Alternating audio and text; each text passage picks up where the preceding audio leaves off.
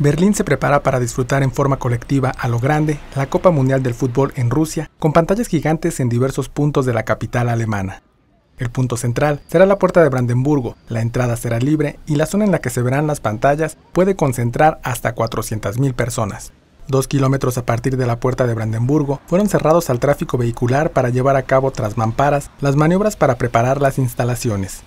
El public viewing en la puerta de Brandenburgo solo abrirá sus compuertas para permitir el paso de la gente cuando tengan lugar los partidos en los que participa la selección nacional alemana. El primero será el domingo, pero el ambiente de fiesta ya comenzó.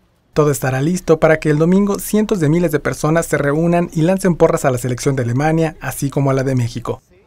Con información e imágenes de Olga Borovio, corresponsal en Alemania, Notimex.